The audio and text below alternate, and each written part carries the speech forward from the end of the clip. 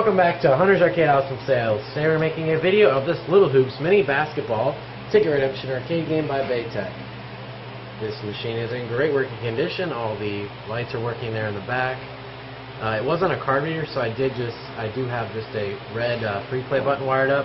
But as you see here, we do have the coin door that you can put back on, as well as the mechs and an owner's manual.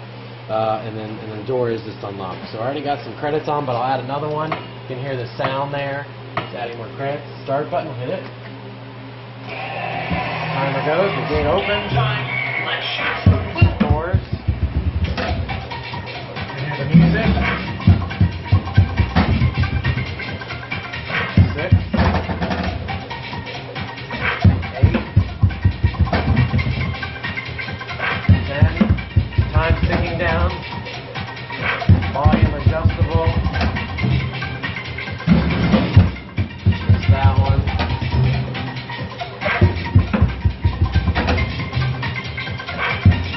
Good. The side graphics are good.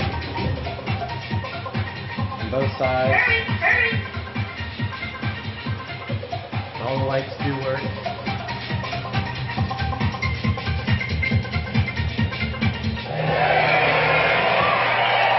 And as you can see here, the ball gate did go back up. This item is located in Charlotte, North Carolina. Uh, we will uh, include more balls. There's only one here. Uh, however, you can buy them new for just a couple of dollars on Bay Tek's website. Thank you for watching.